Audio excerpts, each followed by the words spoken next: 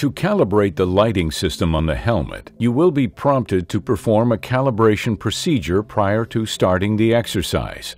A dashed white circle will appear in the middle of the screen. Face the helmet toward the workpiece, aim the helmet so that the dashed white circle is aligned with the red solid circle.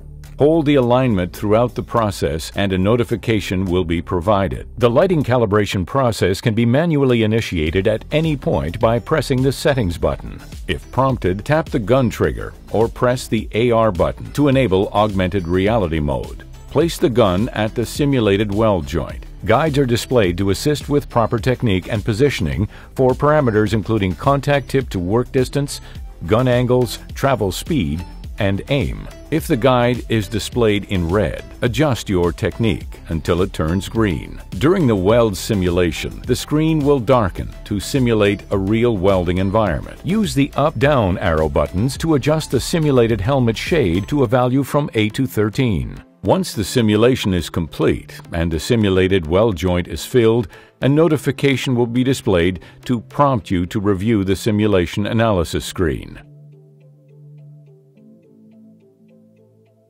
Each parameter will be scored, and highlighted ones in red will indicate the welder failed to pass. To view the results in 3D view, press the AR button on the simulator or to replay the weld, select the replay option at the top of the display screen.